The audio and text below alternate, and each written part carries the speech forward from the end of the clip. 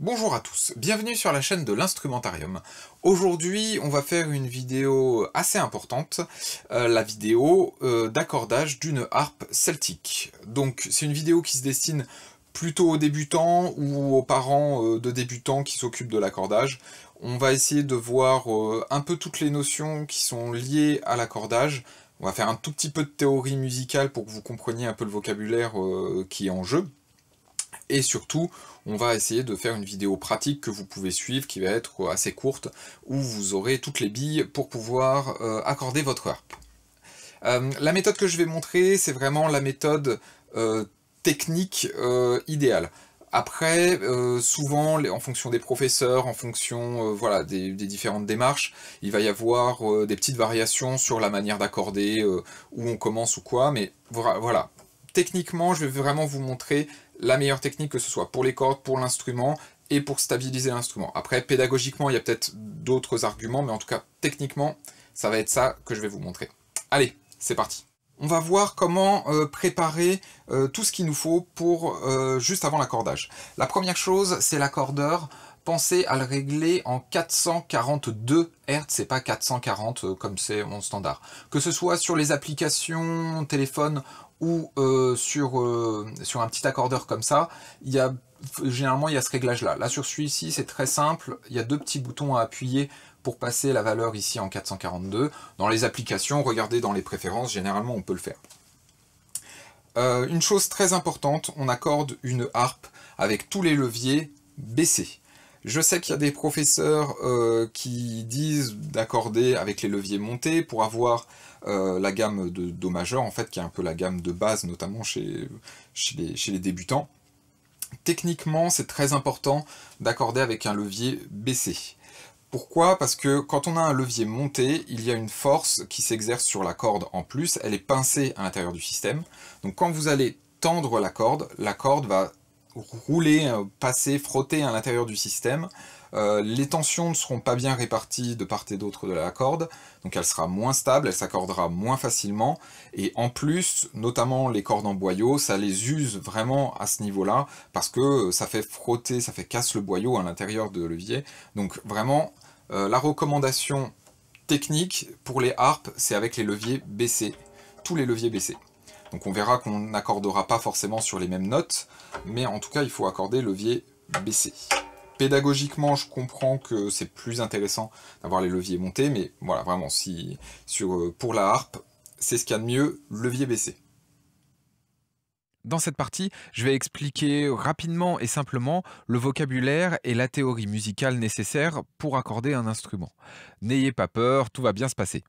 Si vous êtes déjà musicien ou que vous avez déjà quelques notions de théorie musicale, vous pouvez sauter cette partie. Regardez dans la description de la vidéo, dans le sommaire, il y a tout le minutage et vous avez juste à cliquer sur la partie de la vidéo qui vous intéresse. Pour vous aider, vous pouvez télécharger directement ce document sur notre site harpe.com dans la rubrique assistance technique. Comme ça, vous pourrez retrouver toutes ces informations directement chez vous quand vous en aurez besoin.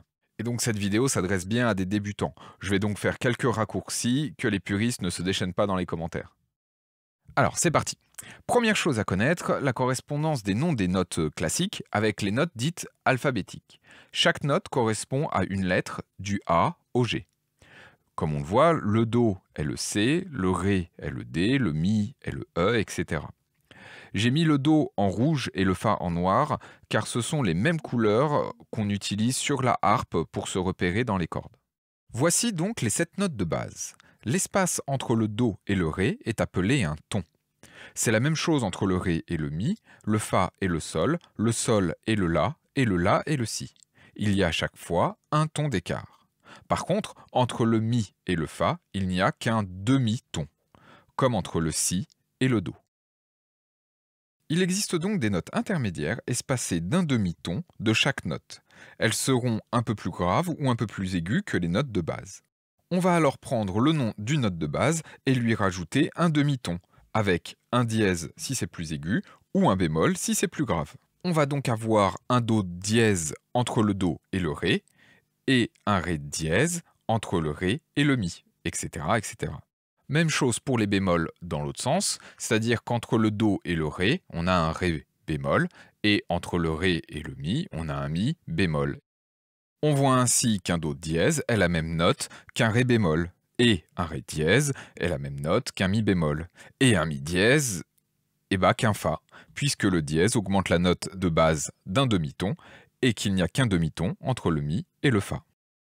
Ce groupe de 12 notes va se répéter dans l'aigu et dans le grave. C'est-à-dire que quand on fait Do, Ré, Mi, Fa, Sol, La, Si, on retombe après sur un Do. Et on recommence. Ce groupe est appelé une octave, car deux notes identiques, par exemple deux Do, sont séparées par huit notes. Octave. En harpe, on compte les octaves du Mi au Fa. Sur le document du début, vous avez la répartition de toutes les notes par octave sur la harpe. Maintenant que vous avez toutes ces notions, on va voir sur quelle note accorder la harpe. Avec tous les leviers baissés, il faut accorder la corde de Do sur un Do et la corde de Ré sur un Ré. Logique. Par contre, la corde de Mi doit s'accorder sur un Mi bémol. La corde noire de Fa sur un Fa et la corde de Sol sur un Sol. Mais la corde de La et de Si s'accordent elles aussi en bémol, comme le Mi. Puis, on finit l'octave, donc on revient sur le Do, et ainsi de suite. Voilà, ça y est. Alors ça paraît peut-être un peu costaud comme ça là tout d'un coup, mais vous inquiétez pas, maintenant on va faire l'application pratique directement sur la harpe et vous allez voir, c'est très simple, il y a juste à suivre ce que vous indique l'accordeur. Donc, après avoir vu tout ça, on va attaquer un peu le vif du sujet, on va faire un accordage de harpe. Je vais peut-être pas la faire en entier parce que c'est un petit peu long, mais au moins vous montrer euh, sur une ou deux octaves ce que ça donne. Première chose à bien avoir en tête, c'est les notes sur lesquelles vous voulez accorder votre harpe. Donc on l'a vu sur une harpe celtique avec les leviers baissés, on accorde sur Do, Ré, Mi bémol, Fa, Sol, La bémol, Si bémol. Donc le Mi, le La et le Si en bémol sur toutes les octaves c'est toujours bien de commencer par les graves. Les graves, c'est ce qui va donner le plus de tension à la harpe, donc c'est ce qui euh, a besoin d'être stabilisé en premier. C'est pas indispensable, il y a des techniques qui on commence au milieu, on va vers les graves, puis on fait les aigus, mais voilà, c'est toujours bien de commencer plutôt par les graves que par les aigus. Alors, moi je commence par le La, troisième octave, on va voir où il est avec l'accordeur. Donc on voit, donc c'est un La bémol, qui est l'équivalent d'un sol dièse, donc l'accordeur affiche un sol dièse. Je vais commencer à tendre la corde. On voyait que l'aiguille était plutôt vers la gauche, donc un peu trop bas. Et plus je vais monter, plus ça va atteindre le verre. Je monte doucement pour que vous voyez bien. Voilà, là c'est pas mal. C'est un petit peu trop haut. Donc ce que je fais quand c'est un petit peu trop haut comme ça, hop, je tire un peu sur la corde. Vous voyez, je fais un effet de levier avec les doigts pour détendre la corde.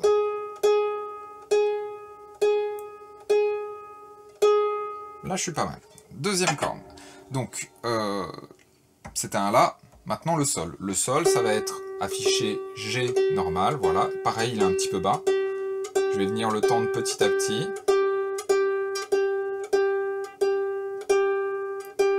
Pour atteindre la note. Alors, je parle pas trop en même temps parce que là, j'ai pas mis de micro pour isoler euh, sur l'accordeur. Donc, plus vous ferez de bruit, plus l'accordeur va détecter. Vous voyez, quand je parle, là, il détecte ma voix. Donc, l'idéal, c'est de ne pas parler pendant qu'on accorde. Ça aide à la détection.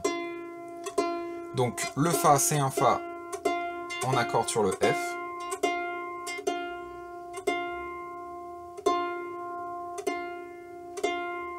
Voilà. Vous voyez, je fais des mouvements, j'ai tourné à peut-être un huitième de tour, quelque chose comme ça. Mais ça suffit. Mi qu'on accorde en bémol.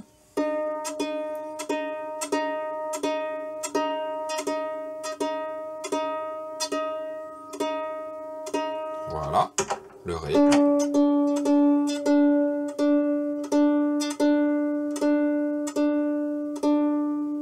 Vous remarquerez que je joue la note à répétition pour vraiment avoir euh, tout le temps un peu la même dynamique. J'essaie de la jouer aussi fort à chaque fois pour que l'accordeur puisse avoir un peu tout le temps la même référence. Si on joue une fois et qu'on laisse la note sonner trop longtemps, généralement elle baisse un petit peu. Donc on vient de faire le Ré, on continue avec le Do qui est accordé sur un Do. Alors, je vais, juste la descendre un petit peu pour vous montrer quelque chose. Donc là, vous voyez, il affiche un, B. Le B, ça veut dire un Si. Le Si, c'est la note qui est juste avant le Do. Donc il faut que je continue à tendre la note jusqu'à passer à un Do. Là, on voit bien, il est passé sur le Do. Et maintenant, je peux continuer à tirer la corde pour atteindre le Do juste avec l'aiguille au milieu sur le verre.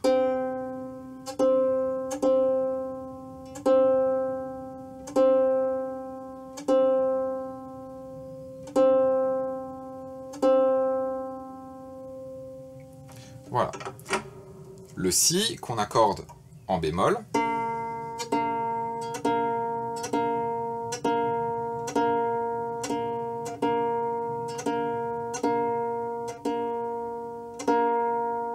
Donc voilà, le but c'est vraiment d'à chaque fois mettre l'aiguille dans le verre au milieu. Le La bémol, donc Sol dièse, donc on a un G avec un dièse sur l'accordeur.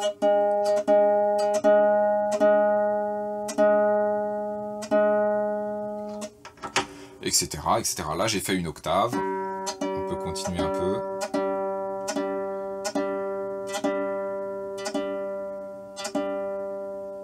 Voilà, etc. Vous voyez, c'est une harpe qui n'a pas été accordée depuis longtemps.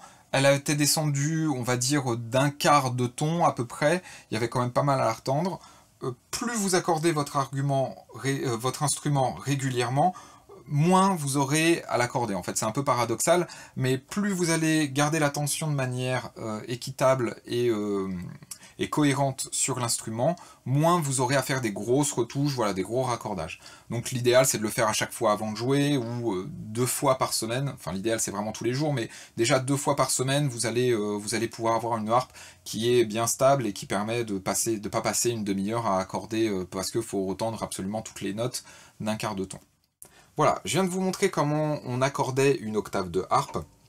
Donc après, c'est la même chose qui se répète, hein, d'octave en octave euh, dans les graves et puis euh, dans les aigus. La difficulté, c'est vraiment d'avoir le coup de main, de savoir, euh, d'arriver à trouver la bonne force à mettre pour accorder précisément. Ça, c'est quelque chose que vous allez avoir avec l'expérience. Donc vraiment, faites-le régulièrement. C'est comme ça que vous allez progresser sur l'accordage, qu'elle va être de plus en plus précise. Et plus vous le faites, plus elle va être, euh, moins il y aura finalement à tourner, et plus vous allez être précis, et plus vous allez avoir un instrument euh, vraiment bien accordé, et euh, qui donnera toutes ces résonances. Et ben voilà, amusez-vous bien avec l'accordage de votre harpe. A bientôt sur la chaîne de l'instrumentarium.